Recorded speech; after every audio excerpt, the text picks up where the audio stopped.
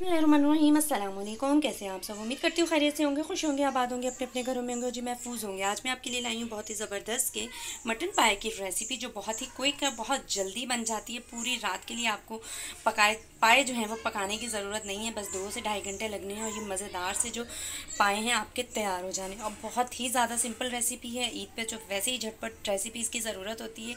तो ये रेसिपीज़ तमाम हाउस वाइफ के लिए एक गिफ्ट है मेरी तरफ़ से ईद का। तो चलें जी, अब देखते हैं कि इसको मैंने बनाया कैसे और उससे पहले अगर आपने चैनल सब्सक्राइब नहीं किया तो वो कर दीजिएगा और वीडियो को भी लाइक ज़रूर कीजिएगा। अब देखते हैं जी, मैंने इसको ज़बरदस्त पाए की रेसिपी को बनाया कैसे है।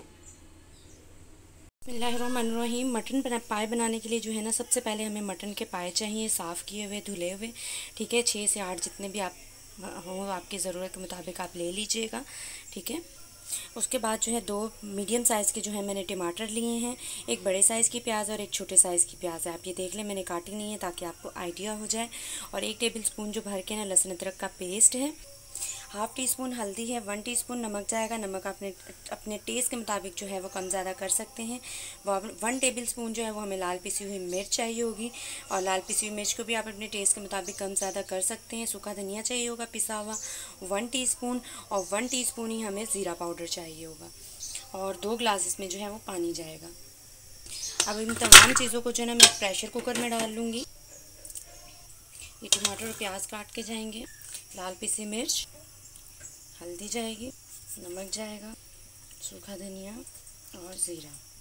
और आखिर में जो है हम इसमें दो ग्लास जो है ना पानी के ऐड कर देंगे और इसको अच्छे से मिक्स करेंगे ताकि चीज़ें अच्छे से मिक्स हो जाएँ। अब मैंने इसको चूल्हे पे चढ़ा दिया है और तकरीबन कवर करके जो है ना हम इसको वेट जो लगाएँगे वो 20 से 25 मिनट का लगाएँगे, ठीक है?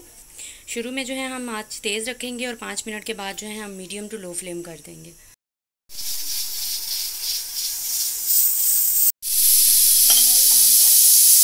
जी, तकरीबन आधा घंटा जो है ना मैंने कुकर को बंद लगाया था और जब भी आप कुकर इस्तेमाल करें तो बहुत ही सेफ्टी के साथ पानी सारा इसमें ड्राई हो चुका है, ठीक है? और अब यहाँ पे मैं थोड़ा सा फ्लेम तेज़ करूँगी और तकरीबन जो है ना आधे से पौना कप के जितना ना इसमें मैं ऑयल ऐड कर दूँगी, ठीक है? और इसको अब मैं जो है अच्छे से ना पाँच मिनट के लिए भून लूँगी। मसाला जो है आपने अच्छे से भून लेना है। ये देखें, जी मैंने मसाले को अच्छे से भून लिया है। ठीक है, कोई इसमें प्याज और टमाटर वगैरह आपको नज़र नहीं आ रहा है। अब मैं इसमें तकरीबन डेढ़ से दो लीटर ना पानी के डाल दूँगी। ठीक है, या जितना आपको शोरबा चाहिए, उससे डबल पानी आपने डाल देना है।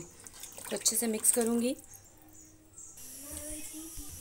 अब वापस मैं जो है इस पर प्रेशर लगाऊँगी, पाँच मिनट जो है मैं हल्की आँच तेज़ आँच पे इसको पकाऊँगी, उसके बाद जो है हल्की आँच करके आधे आधे घंटे बाद जो है प्रेशर खोल के मैं दोबारा लगाऊँगी। जिनको कुकर यूज़ करना आता है, उनको आइडिया होगा इस चीज़ का अच्छी तरह से, लेकिन अगर आपको कुकर यूज़ नहीं करना आता तो इसके बाद जो है आपने इसी तरीके से ना मसाला भूनने के बाद, ठीक है, पतीली में अगर आप बना रहे हैं तो इसी तरीके से पानी डाल के और ढक के जो है ना आपने इसको पहले पाँच मिनट तेज़ आँच पर पकाना है, ताकि इसमें उबाल आना शुरू हो जाए।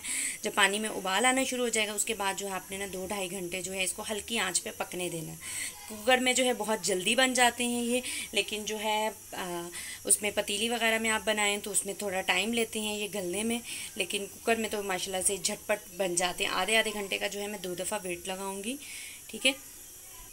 वेट मैंने लगा दिया है। पहले थोड़ी देर जो है मैं तेज़ आँच पर पकाऊँगी और चार से पाँच मिनट के बाद मैं इसका फ्लेम जो है मीडियम टू लो कर दूँगी। ठीक है? अब आपको पाए को पूरी पूरी रात बनाने की ज़रूरत नहीं है। बहुत ही आसान और मज़ेदार वाला ये जो है आपके पाए बनेंगे और बहुत ही ज़्यादा क्विक रेसिपी है। तकरीबन दो घंटे के अंदर आपके बहुत ही ज़बरदस्त से जो है ना पाए तैयार हो जाते हैं। अब गाय के पाए भी इसी तरीके से बना सकते हैं।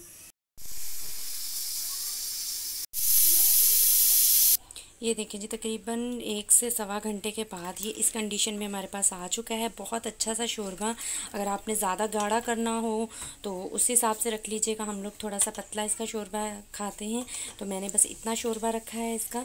लेकिन टेस्ट जो है, बहुत मज़े का, अगर आपने थोड़ा पानी खुश करना हो तो कर लें, कोई इशू नहीं होगा, ठीक है? लेकिन हमारे जो हैं पाए वो ज़बरदस्त किस्म के जो तैयार हो गए हैं। मैं अब आपको डिश आउट करके दिखाती हूँ। चूल्हा मैंने बंद कर दिया ये देखें जी बहुत ही ज़बरदस्त के मटन पाए जो हमारे तैयार हो चुके हैं। हल्का सा मैंने इसके ऊपर हरा धनिया डाल दिया है और छोटी छोटी जो हैं आप हरी मिर्चें डाल के का, काट के जो हैं वो डाल दें। लेकिन बहुत ही मज़े की रेसिपी जो है मैंने आपको दे दी। आपने ज़रूर ट्राई करना है इस ईद पर और मुझे कमेंट में आकर ज़रूर शेयर कीजिएगा कि ये रेसिपी आपको कैसी लगी। चैनल को सब्सक्राइब ज़रूर कीजिएगा और वीडियो को भी लाइक ज़रूर कीजिएगा। मैं मिलूँगी एक नई रेसिपी के साथ। तब तक के लिए अल्लाह हाफिज़।